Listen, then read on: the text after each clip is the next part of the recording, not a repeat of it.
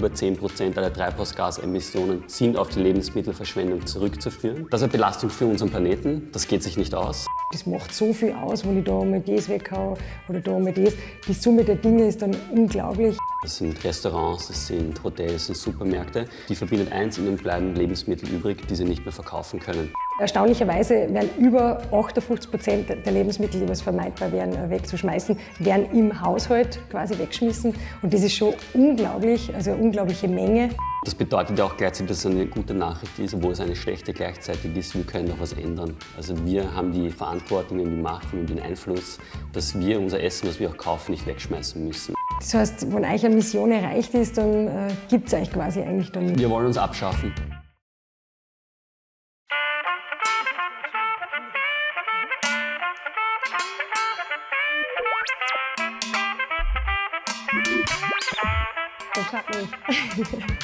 Hallo und herzlich willkommen zum Podcast Wer nichts weiß, muss alles essen, der Podcast von Landschaft Leben. Mein Name ist Maria Fanninger und man merkt es, glaube ich, schon, ich bin halt voll euphorisch. Ich bin nämlich mehr oder weniger äh, vom Ö3 Podcast Award gerade gekommen.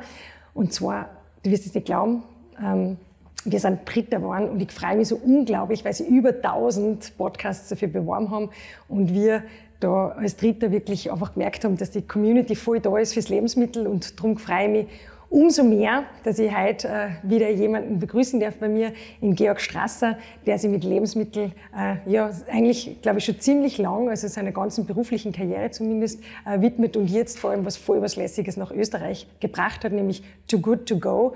Und um das wird es heute sicher ein bisschen gehen. Ähm, Georg, stößt dir vielleicht kurz vor und äh, ja, erzählst uns ein bisschen, was du machst. Ja, danke für die Einladung. Mal Gratulation nochmal. Danke. Ähm, super gemacht. ähm, ja, ähm, ich bin der Country Manager bei Too Good To Go in Österreich. Ich, ähm, ja, wie du gesagt ich beschäftige mich seit mindestens 10, ja 15 Jahren mit dem Thema Lebensmittel, Nachhaltigkeit. Ich habe Nachhaltigkeit studiert, ähm, war im Lebensmittelhandel tätig für viele Jahre und ist einfach ein großes Herzensthema von mir. Da steckt irgendwie das Wort Leben schon drin in Lebensmittel das ist ganz Wichtiges. Und die letzten Jahre ähm, habe ich Too Good To Go aufgebaut, also eine App gegen Lebensmittelverschwendung.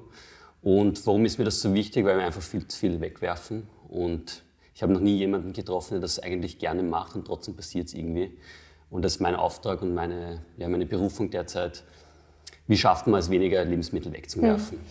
Hm. Wir werfen eine Million Tonne Tonnen Lebensmittel äh, weg, also vermeidbare Lebensmittel eigentlich. Und wie wir das recherchiert haben als Landschaft Leben, da war ich so überrascht, weil ich mir eigentlich gedacht habe, dass viel mehr eigentlich in der Produktion und dann auch wahrscheinlich im Handel und in der Gastronomie eigentlich weggeschmissen wird. Äh, erstaunlicherweise werden über 58 Prozent der Lebensmittel, die was vermeidbar wären, äh, wegzuschmeißen, werden im Haushalt quasi weggeschmissen. Und das ist schon unglaublich, also eine unglaubliche Menge. Äh, man sagt eigentlich, dass man ein Drittel seines Einkaufs quasi immer, immer wieder weghaut. Das sind äh, im Jahr, ich muss nochmal aufgeschrieben, 60 Kilo pro Österreicher, was wir einfach wegschmeißen und, und aber noch gar nicht äh, zum Wegschmeißen wäre sehr oft das, das Mindesthalt äh, äh, Haltbarkeitsdatum wahrscheinlich noch nicht einmal überschritten ist oder gerade vielleicht knapp überschritten ist und wir eigentlich das vielleicht sogar noch genießen könnten. Oder wir kaufen einfach zu viel ein oder lagern es falsch. Also ganz viele, viele Themen, die da im Haushalt äh, passieren. Absolut, ich denke, es ist auch eine Kombination einfach von vielen Faktoren, warum einfach so viel zustande kommt. Und ich denke, als erstes denken wir mal an die Supermärkte. Die Voll. Also für mich war das auch völlig klar. Immer gedacht, Supermarkt ist eigentlich das, wo am meisten weggehauen wird. Genau, aber wenn man sich dann eigentlich die Zahlen, die, die Statistiken anschaut, ist es nicht so. Also es gibt da sehr viele Erhebungen und sehr viele Statistiken, die relativ genau sagen, es ist der Haushalt, es sind wir bei uns zu Hause, wo wir am meisten wegschmeißen, eben mehr als die Hälfte. Und das bedeutet ja auch gleichzeitig, dass es eine, sozusagen eine gute Nachricht ist, obwohl es eine schlechte gleichzeitig ist, wir können auch was ändern. Also wir haben die Verantwortung und die Macht und den Einfluss, dass wir unser Essen, was wir auch kaufen, nicht wegschmeißen müssen. Also da kann man sich gleich mal zu Hause umschauen, was ist im Kühlschrank drinnen, was habe ich im Kastel drinnen und bei sich selbst anfangen. Und wie du sagst, ja, wie, wenn ich jetzt zum Supermarkt gehe und dort kaufe ich mir drei Sackerl äh, mit Lebensmitteln, ich komme nach Hause und werfe dann eins weg, das passiert tatsächlich jetzt gerade auf globaler Ebene. Wir wissen, ein Drittel, mittlerweile schon mehr als ein Drittel aller Lebensmittel werfen wir weg. Das ist viel zu viel. Und es geht sich nicht aus für unsere Umwelt, weil wir wissen ja auch gleichzeitig, wenn ich Lebensmittel produziere, dann brauche ich Ackerfläche, ich brauche Ressourcen, ich brauche Energie, ich brauche Wasser, ähm, ich, ich brauche extrem viel Aufwand im Endeffekt, um Lebensmittel zu produzieren. Den transportiere ich die nach Österreich in den Supermarkt hinein, dann gehe ich dort, hole mir das ab, kaufe das und dann wird es weggeschmissen. Und das ist eine Belastung für unseren Planeten. Das geht sich nicht aus. Wir wissen auch gleichzeitig, über 10 Prozent aller Treibhausgasemissionen sind auf die Lebensmittelverschwendung zurückzuführen. Und deswegen müssen wir da wirklich was machen. Wir sind mitten in der Klimakrise angekommen und wir kommen auch nicht mehr raus, wenn wir so weiter tun, wie wir jetzt gerade tun. Und deswegen braucht es da einfach ein Umdenken bei uns zu Hause, in, dem, mal, in unseren Haushalten, in unseren Familien. Und gleichzeitig braucht es aber auch die ganze Wertschöpfungskette auch wenn die Supermärkte relativ wenig im Vergleich wegschmeißen, sie sind trotzdem ein ganz wichtiger Player, sage ich mal, in Österreich und auf der ganzen Welt. Aber es braucht die Gastro, es braucht die Supermärkte, es braucht uns zu Hause, es braucht die Produktion.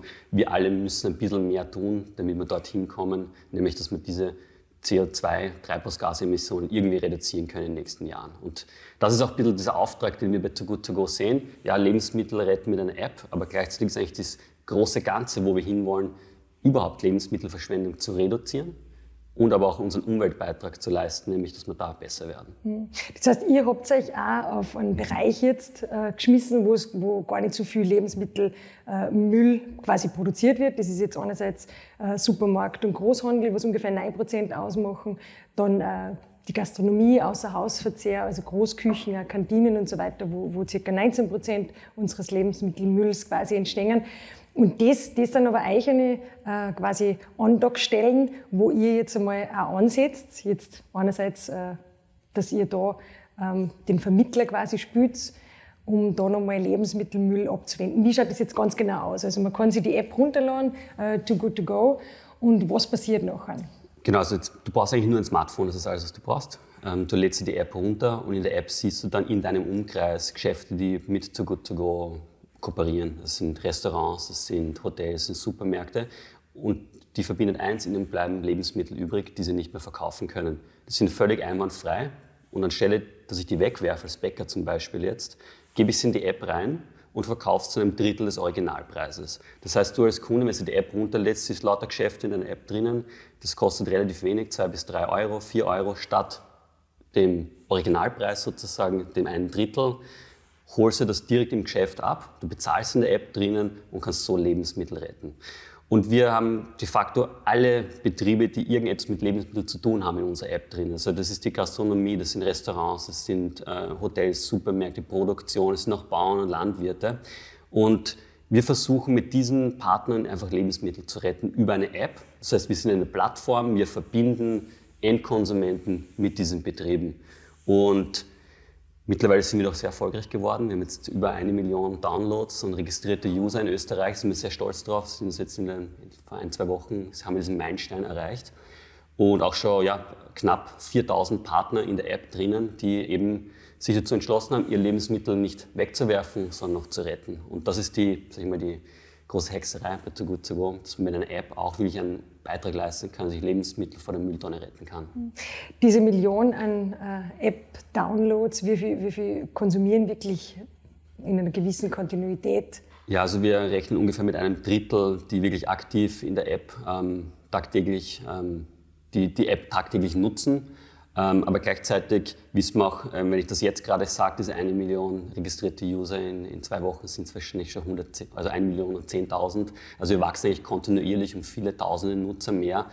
Und das, das bestätigt ein bisschen auch unsere Mission und gleichzeitig zeigt es aber auch, was für ein großes Problem wir haben. Nämlich, dass wir viel zu viel wegwerfen und gleichzeitig aber auch die, die Menschen auch was dagegen tun wollen. Die, niemand, niemand wirft ja gern Essen Ist das weg die Motivation dessen, also wollen die, machen die Leute das deshalb, weil sie wirklich äh, Lebensmittelmüll vermeiden wollen oder ist auch das, weil sie einfach günstig zu Lebensmitteln kommen?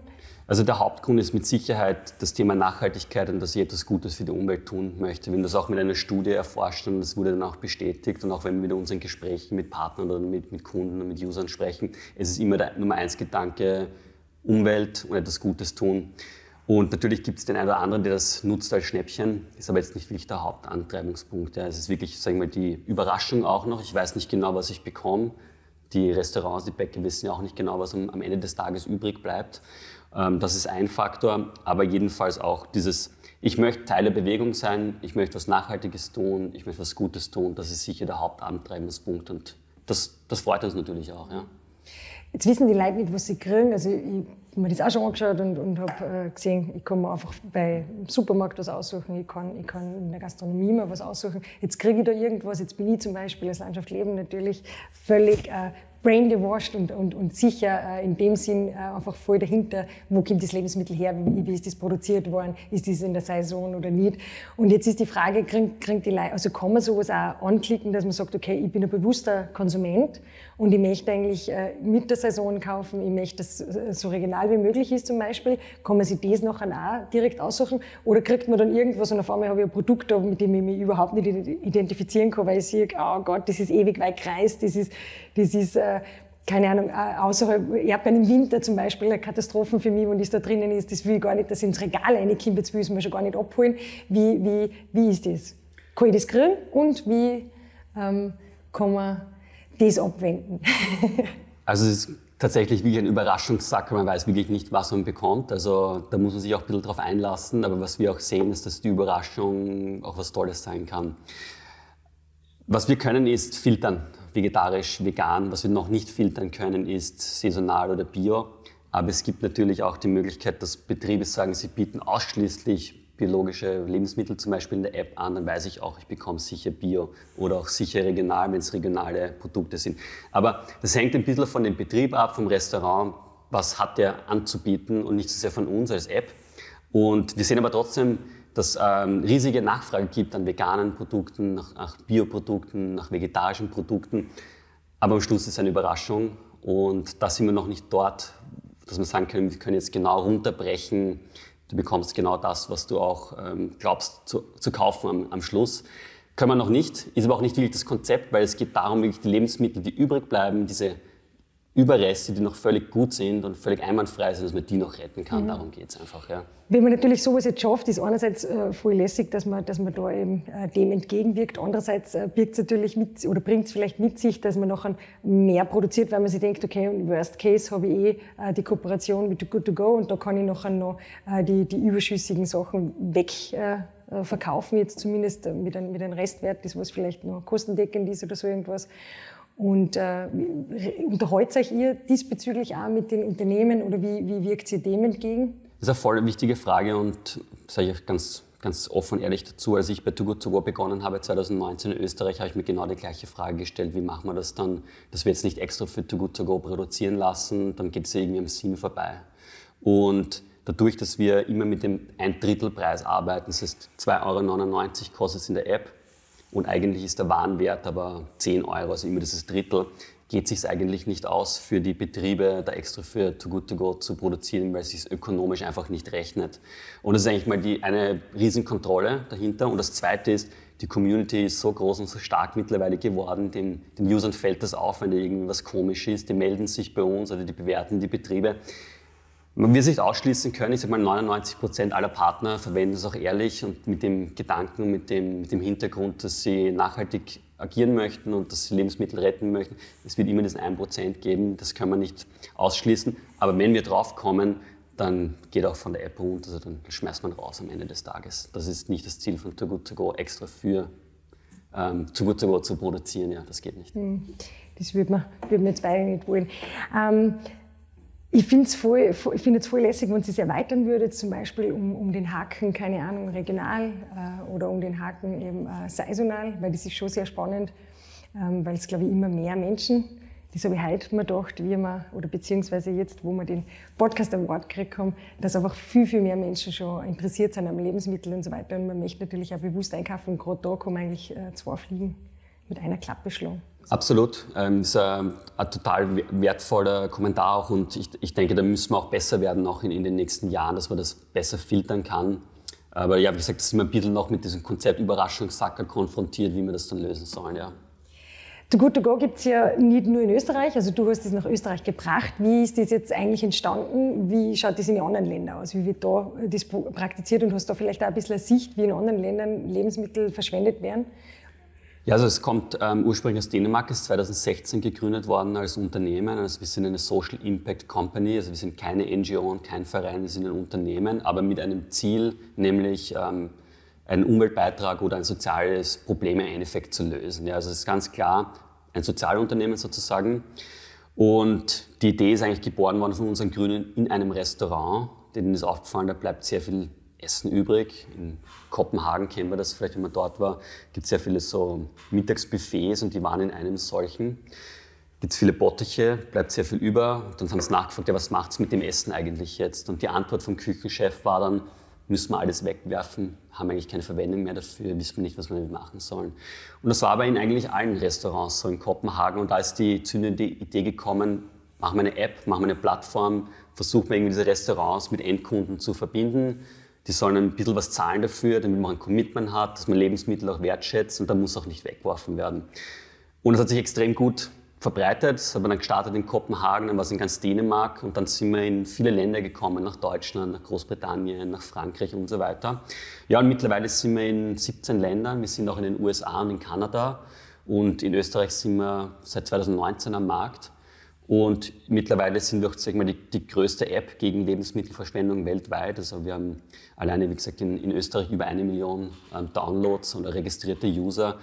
Ähm, wenn man jetzt global betrachtet, auf 17 Länder, wir haben über 120.000 Partner in Europa und in, in, Amerika.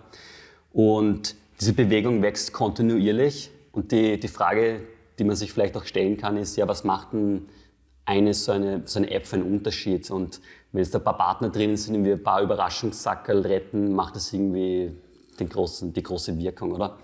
Aber mittlerweile sehen wir auch, Pro Tag retten wir allein in Österreich 10.000 Überraschungssacker, das sind ungefähr 10.000 Kilo, da kommt schon was zusammen und auf globaler Ebene ist es dann schon mehr als 200.000 solcher Sacker. Das heißt, wir können wirklich was tun und wir merken, es wächst und wächst, einfach weil das Problem leider auch so groß ist und weil du gesagt hast, wie schaut es in anderen Ländern aus?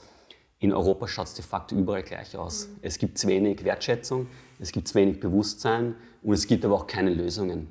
Es gibt kaum ähm, kaum diese Lösungen, die wirklich auf, auf, auf Scale, also auf, auf, auf, große, auf eine große Skalierung ein, ein Problem lösen können. Und da schaffen wir es mit einer App wirklich in die Breite und in die Masse zu gehen, weil das Einzige, was du brauchst, ist ein Smartphone und eine Bankomatkarte und dann kannst du die App verwenden.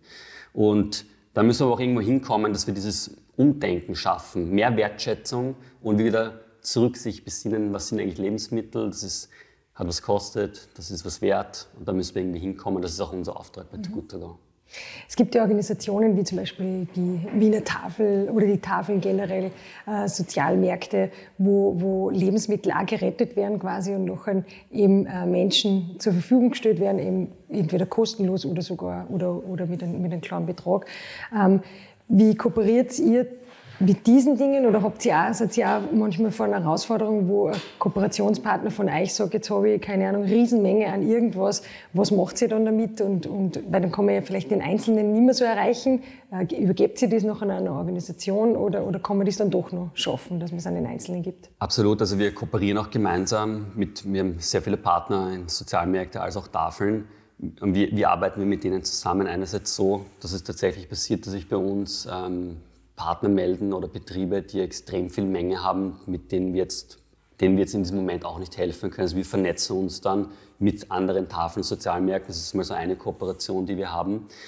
Das zweite ist, dass wir auch in unserer App einen Spendenbutton drinnen haben. Das heißt, man kann an Tafeln und Sozialmärkte spenden. Das heißt, in der App normalerweise kaufst du einen Sackerl ein. Du kannst aber auch diesen 3 Euro, das ist 6 oder 9 Euro an eine Partnerorganisation von uns spenden.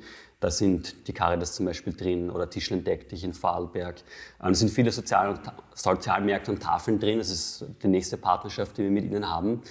Und vielleicht aber auch einen Schritt zurück zu machen. Es ist ganz wichtig, dass diese ähm, Organisationen Einrichtungen gibt, wie die Wiener Tafel oder Sozialmärkte, weil das Problem einfach viel zu groß ist. Wir werden es in Österreich mit einer App und nur mit Too Good To Go auch nicht lösen. Es braucht da ganz viele unterschiedliche Akteure. Es braucht zum Beispiel Brüsli oder Unverschwendung. Es braucht uns, es braucht die Wiener Tafel, um einfach dieses Problem Lebensmittelverschwendung zu lösen, aber auch sag ich mal, die, das Bewusstsein und die Wertschätzung wieder in die Bevölkerung zu bringen.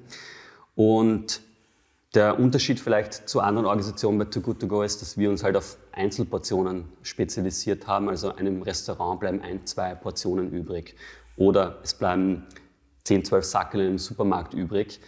Da können wir sehr gut mit unserer App eine Lösung anbieten, wenn es aber dann darum geht, zum Beispiel jetzt von Landwirten im Waldviertel oder in Tirol ähm, Lebensmittel direkt vom Feld zu retten, da sind wir noch nicht dort, wo wir sein wollen. Das können wir noch nicht so gut. Da müssen wir selbst ja auch seine Lösung finden.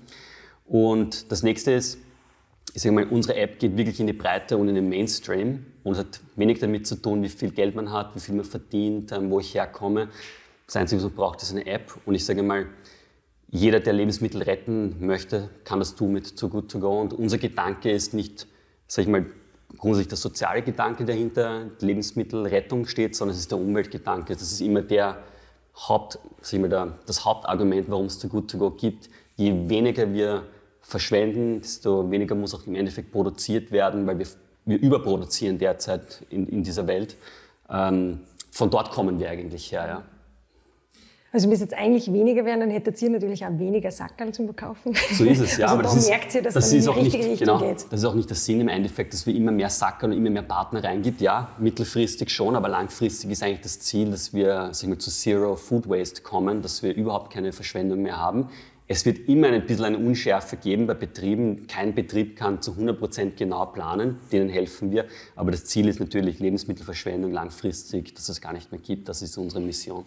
Das heißt, wenn euch eine Mission erreicht ist, dann äh, gibt es euch quasi eigentlich dann nicht Wir wollen uns abschaffen. Spannend. Will nicht jeder. Äh, ist, ein, ist ein voll äh, schöner und ehrenwerter Zugang. Äh, eigene Kooperationspartner, das sind jetzt einerseits Restaurants, haben wir gesagt, zum Beispiel, oder, oder ähm, Supermärkte. Und aber Bauern jetzt, die zum Beispiel eine Überproduktion haben, oder bäuerliche Organisationen, die wo es dann mehrere äh, ja, Großernten mit irgendwelchen Überschüsse, sowas geht es hier noch nicht an, dass man da als Einzelner Wir, wir, ein bisschen, wir sind so ein bisschen angegangen. Wir haben zum Beispiel in Wien mit ein paar Bauern gerettet, mitten in der Stadt, dass sie mit dem Anhänger kommen, haben einen Berg Erdäpfel mitgebracht oder einen Berg ähm, Kürbisse, haben das halt aufgestellt, haben so einen kleinen Pop-Up-Store sozusagen gemacht, einen kleinen Zelt und Anhänger. Die User konnten das dann innerhalb von zwei Stunden noch einkaufen. Aber ich sage mal, unser System funktioniert besonders gut mit der Gastro, mit den Supermärkten und mit, mit sag mal, gewöhnlichen Restaurants und Betrieben. Vom Feld direkt geht es sich noch nicht aus, weil die User auch dort sein müssen. Das der User muss zum, zum Feld fahren, das holen und so weiter. Also da, da haben wir noch ein bisschen Arbeit vor uns. Aber ich sage mal, es geht trotzdem auch mit Bauern zu retten, aber dann muss es in der Stadt sein oder irgendwo, wo man halt hinkommt. Auf einer Tankstelle zum Beispiel haben wir es auch mal ähm, versucht, so etwas zu, zu machen. Ja. Ich glaube, das natürlich ist eine Nische, aber immer mehr Menschen äh, wollen direkt beim Bauern wieder einkaufen und wollen einfach da ein bisschen das spüren. Das ist sicher ein Zukunftsthema.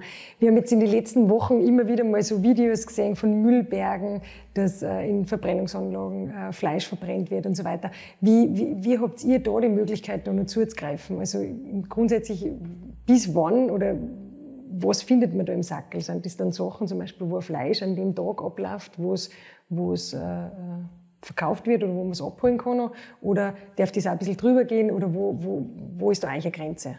Also unsere Grenze eigentlich beim Mindesthaltbarkeitsdatum. Also wir sagen, wir wollen gar keine Produkte, ganz offen gesagt, in der App drinnen haben, wo das Mindesthaltbarkeitsdatum überschritten ist, weil dann habe ich vorher eigentlich schon was falsch gemacht. Weil ich habe dann nicht gut geplant, dass es überhaupt dazu kommt, dass ein Lebensmittel ablaufen unter Anführungszeichen kann. Deswegen sagen wir, wir stellen mit Too Good To Go den Betrieben die App zur Verfügung, mit der sie viel besser planen können, falls es mal zu einem Überschuss kommt, dass man den dann auch abverkaufen und retten kann.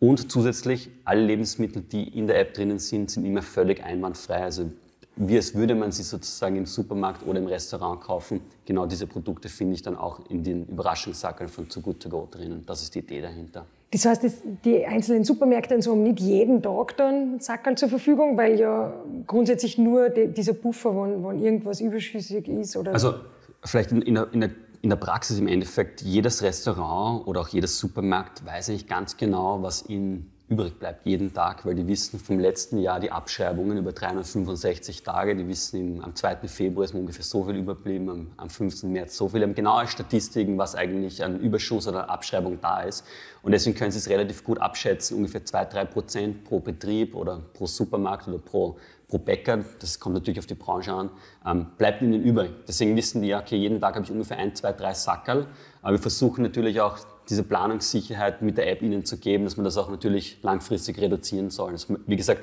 der Sinn ist nicht, dass man viele Sackel reingibt, sondern dass man gute Planungssicherheit bekommt. Dein ganzes Know-how hast du irgendwie ein bisschen, glaube ich, von deiner Praxis aus dem, aus dem Handel mitgenommen oder wo, wie? Ja, ich habe äh, viele Jahre in einem Supermarkt auch gearbeitet, mhm. in einem Händler. Und mein, meine Aufgabe war dort tatsächlich auch mit Tafeln und Sozialmärkten zusammenzuarbeiten, nämlich Lebensmittel, die in den Supermärkten überbleiben oder in Filialen zu reduzieren, dass sie noch gerettet werden. Ist das eigentlich der Grund, warum so ein kleiner Anteil an, die, an, die, an Lebensmittelmüll produziert wird in Supermärkten und, und Großhandel, weil man da eigentlich schon seit längerem irgendwie immer Wege sucht, wie man das abwendet? Oder? Ja, ich sage mal, die Supermärkte sind sicher ein Vorbild, was das betrifft, ähm, Lebensmittelverschwendung zu reduzieren. Weil wenn ich, wenn ich zurückschaue, 15, 20 Jahre hat es diese Kooperation mit Tafeln, Sozialmärkten und so weiter eigentlich nicht gegeben. Das ist erst viel später gekommen. Das nächste ist, es gibt keinen Supermarkt, der absichtlich viel produziert, weil es dann wegwerfen muss. Das kostet einfach nur Geld. Das heißt, es ist ökonomisch sinnlos für einen Supermarkt oder für einen, für einen Bäcker oder für ein Restaurant extra mehr zu produzieren, wenn es dann wegwerfen muss. Und das, das Dritte ist, wir sehen einfach ein Umdenken im Zeitgeist auch. Also ich sage mal, alle Betriebe, ich, ich möchte jetzt gar nicht für die Supermärkte sprechen, aber für alle Betriebe in Österreich, wir merken ein Umdenken, wir wollen nachhaltiger werden, aber wir brauchen halt auch Lösungen dafür. Und da gibt es da gibt's kaum Unterschiede zwischen den Branchen. Es, wie gesagt, ich habe noch nie jemanden kennengelernt, der gesagt hat, ich hau gerne Essen weg und ich mache das absichtlich. Es ist eher fehlendes Bewusstsein oder es gibt die, die Lösung noch nicht dafür. Mhm. Beim Supermarkt sagen, sagen, viele, dass man kleine Schräubchen, äh, Schräubchen drehen müsste nur und man könnte relativ viel äh, erreichen. Also dies nur, keine Ahnung, äh, ja, relativ naja, wenig zu tun hätte, dass man viel erreichen kann. Und beim, wenn, wenn ich jetzt die Masse der Menschen natürlich hernehme, dann müsste die bei jedem Einzelnen wirklich volle Bewusstseinsbildung, dass der, dass der ähm, weiß, wie er die Dinge lagert, dass er, dass er weiß, dass er vielleicht beim Einkaufen schon schaut, äh, dass er, dass er noch einen äh, abwendet, indem er verkocht und so weiter. Und da sind so viele Menschen und dass man die erreicht, ist viel schwieriger, wie an dieser Schraube zu drehen, der Supermärkte, wo man einfach nur vielleicht eine oder andere Sache anders machen muss. Wie siehst du das? Also ich, ich sehe es mal so, die, es gibt ja begrenzte Anzahl an unterschiedlichen Supermärkten in Österreich. Und die haben einfach eine, eine große Verantwortung, das haben wir jetzt auch in den letzten zwei, drei Jahren gesehen, ähm, dass die, die Lebensmittelversorger in Österreich sind und da de facto haben sie eine große Verantwortung, wie wir mit Lebensmitteln umgehen, weil es eben nur ein paar gibt. Und die, die große Schraube ist eher die, dass sie einfach sehr viele Filialen haben und wenn ich dort etwas umstelle, dann kann ich sehr viel Gutes bewirken. Das ist, glaube ich, der, der große Hebel, den ich sehe, die, die Anzahl der Filialen und sich mal die Größe und sich mal den Impact, den Supermärkte haben. So sehe ich das, ja. Ähm, aber unabhängig davon, ich glaube, wir alle können besser werden. Ähm, nicht nur die, die Kleinen, sondern auch die Großen. Und wir sehen jetzt auch mittlerweile mit Too Good To Go arbeiten sehr viele Supermärkte zusammen. Ähm, ich sehe jetzt mal Dance, Hofer, es ist Bilder auch dabei. Ähm, Unimarkt, das ist de facto sehr viele große Marken und Spar auch. Es war der erste Supermarkt, der bei Too Good To Go dann mitgemacht hat wir sehen hier, dass es ein, ein, Umdenken gibt. Ja? Und das freut uns und wir sind dann ein, ein stolzer Partner auch vom Lebensmittelhandel, aber nicht nur, sondern auch von den Bäckern, von den Restaurants, von den Produzenten. Und sagen wir, die Richtung stimmt gerade. Ja. Hm. Ja, man muss das Spotlight wahrscheinlich einfach da ein bisschen drauf richten. Ich glaube, dass das allein schon, wenn man das Bewusstsein bekommt oder überhaupt einmal die Sicht auf das kriegt, dass man vermeidbare Lebensmittel überhaupt daheim hat, dass man vielleicht selber der ist, der was relativ viel weghaut, weil für mich war das auch eine absolute Erkenntnis, dass man da noch genauer schaut, wie, wie agiere ich eigentlich jeden Tag und das macht so viel aus, wenn ich da mal das weghaue oder da mal das. Die Summe der Dinge ist dann unglaublich. Pro Haushalt haben wir 800 Euro im Jahr weg, was echt viel Geld ist eigentlich. Also da wird, wird sich der eine oder andere sicher was anderes äh, gönnen wollen, wir das einfach direkt äh, in den Müll zu werfen. Ja. Ja, ich wollte gerade sagen, es ist echt viel Geld, das man eigentlich wegwirft. Also ist, ich habe auch noch niemanden gesehen, der jetzt 800 Euro nimmt und in die Mistkübel reinhaut, oder? Und das tun wir aber tatsächlich jetzt gerade als, mal, als Kollektiv in Österreich. Mhm. Und erst mit der Erkenntnis kannst du eigentlich wieder neue Weichen setzen, kann man eigentlich wieder Nein entscheiden, dass man irgendwie ein bisschen bewusster beim Einkaufen ist, beim Verwerten der Dinge ist. Und dann vielleicht auch, dass man das eine oder andere Mal vielleicht zu so einer Lessing-Initiative wie euch ergreift, wo man, wo man dann sagt, okay, jetzt äh, kann ich mir mal noch, oder kann ich ein Lebensmittel retten, jetzt habe ich gerade nichts und ähm, das passt, passt sehr gut einmal für, für, für irgendeinen Tag. Also kann ich nur äh, ja, unterstützen, wo man in so eine Richtung geht. Ich finde das immer voll lässig, wenn, wenn wieder was Innovatives da ist, wo man wieder einfach entgegenwirkt. Und wenn das das Ziel ist, und das darf mich jetzt ein bisschen interessieren, was euer äh, Ziel dahinter auch noch ist oder dein persönliches vielleicht auch mit der Sache, die du jetzt äh, am Weg gebracht hast in Österreich, ähm, dann finde ich das schon sehr löblich. ja, also ein großes Ziel ist, Bewusstsein zu schaffen für das Thema. Und weil wir jetzt auch darüber gesprochen haben, wir, wir kennen es, glaube ich, alle, man macht den Kühlschrank auf, da steht ein Joghurt drinnen, das Mindesthaltbarkeitsdatum ist überschritten und ich haus weg. Ja. Und hoffentlich machen das nicht zu viele. Ja. Oder das machen leider aber zu viele derzeit, weil wir wissen, über 10 Prozent aller Lebensmittel, die in, der, in Europa weggeworfen werden, ist aufgrund eines Missverständnisses das Mindesthaltbarkeitsdatum. Und was wir brauchen ist, dass wir das Joghurt dann aufmachen, reinschauen, wie schaut das aus, wie riecht das, wie schmeckt das und dann erst die Entscheidung treffe, kann ich das essen oder nicht. Und das große Ziel auch von Too Good To Go ist eben dieses Bewusstsein wieder zu schärfen, dass wir uns auf unsere Sinne verlassen können und dass wir Wertschätzung den Lebensmitteln wieder geben. Und deswegen haben wir auch eine Kampagne gestartet letztes Jahr, die gibt es mittlerweile auch in vielen anderen Ländern, wo Too Good To Go aktiv ist, nennt sich oft länger gut. Das ist ein Zusatzhinweis, den wir gemeinsam mit Produzenten ähm, ausloben auf verschiedensten Produkten, auf Joghurt, auf Milch, auf alles, was de facto ein Mindesthaltbarkeitsdatum hat. Und man soll daran erinnert werden, steht dann oft länger gut neben dem Mindesthaltbarkeitsdatum direkt auf dem Produkt drauf, direkt neben dem Joghurt. Jetzt nehme ich das, dann schaue ich drauf, ach, vielleicht kann ich das doch noch essen. Also man wieder sich zurück erinnert, ich habe ja auch Sinne, schauen, riechen, riechen, schmecken. Und das ist ein großes Ziel von Too Good To Go, einfach dieses Bewusstsein, das Bewusstsein zu schaffen. Nicht nur die App, dass wir als Plattform und ähm, Lösung den, den Betrieben helfen können, sondern auch wirklich dieses Bewusstsein zu schaffen. Das ist ein langfristiges Ziel. Das wird uns noch, glaube ich, viele Jahre so begleiten. gemeinsame ja. Nenner. Ähm, stimmt, das, glaube ich, teilen wir uns, dieses Thema. Ähm, das ist, das ist das große Ziel im Endeffekt. Ja. Wir müssen da hinkommen, dass da wieder mehr umgedacht wird. Ja. Auf jeden Fall. Voll schön, wo man das natürlich da am Produkt äh, natürlich kennzeichnet, weil da, genau da ist der Punkt, wo man, wo man Verhalten ändern kann. Das ist auch, Lebensmittelverschwendung ist für uns ein großes Thema. Wir haben das jetzt gerade auch unterrichtsmaterialmäßig aufbereitet, dass man das im Unterricht integrieren kann als Pädagogin oder Pädagoge. Und wir wollen da wirklich, dass man einfach auch, ja, in den jungen Jahren schon eine Sicht auf das kriegt und dann vielleicht schon anders agiert oder eben genau dann äh, dieses Wissen wieder heimtragt, quasi, wo man den Kühlschrank aufmacht, dass man die Dinge nachher wirklich nochmal anschauen kann. Und es ist halt immer ein bisschen ein Verhängnis mit dem Ablaufdatum, das, was wir im Umgangssprachlichen einfach verwenden, wo wir sagen, das läuft ab und somit ist es eigentlich nicht mehr verwendbar. Wo ich sage, es war mindestens haltbar bis, das heißt, es geht auch noch später, wenn ich mir das auch herhole, bewusst, nachher kann man da wirklich mit den Sinnen relativ viel abwenden. Gibt es auch von den Wiener Tafeln ein vorlässiges Plakat, äh, ist das noch gut, wo man wirklich mal ausgetestet hat, wie lange ein Lebensmittel noch, noch hält, äh, kann man auch über uns äh, bestellen oder natürlich über Wiener Tafeln auf der Webseite, wenn euch das interessiert, auch für Schulklassen oder so, wo uns zufällig eine Pädagogin oder Pädagoge zuhört. Voll schön, Georg, dass du heute bei mir warst. War voll spannend mit dir, mit dir zu plaudern. Ich glaube, dass der eine oder andere jetzt äh, sich sicher gerade die App runterlädt. Das würde mich freuen, ja. und einmal schaut, was da zu holen ist.